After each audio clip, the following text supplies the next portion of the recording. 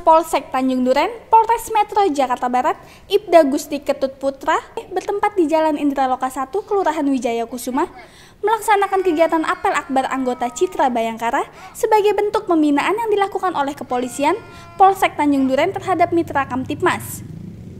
Dalam apel akbar tersebut, kami menyampaikan peran dan fungsi mitra Kamtipmas serta motivasi agar keberadaannya dapat dirasakan oleh masyarakat, mampu melakukan deteksi dini, menjaga keamanan diri sendiri, masyarakat, dan lingkungannya sebagai sumber informasi, menjadi mediator dalam menyelesaikan suatu permasalahan masyarakat yang selalu bekerja sama dengan Polri untuk menciptakan situasi yang kondusif. 60 anggota Citra Bayangkara yang hadir dalam kegiatan tersebut gabungan dari tujuh kelurahan yang ada di wilayah hukum Polsek Tanjung Duren mempunyai komitmen bersama untuk memelihara stabilitas keamanan dan ketertiban masyarakat.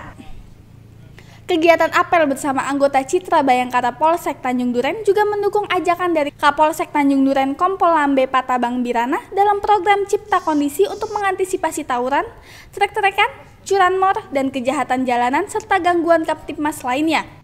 Di akhir arahan, kami berpesan agar seluruh anggota Citra Bayangkara Polsek Tanjung Duren tetap solid dan kompak, mampu bersinergi dengan komponen masyarakat yang ada untuk memperkuat kemitraan Polri dengan masyarakat. Untuk mencegah terjadinya gangguan-gangguan Kaptimas di wilayah Bapak.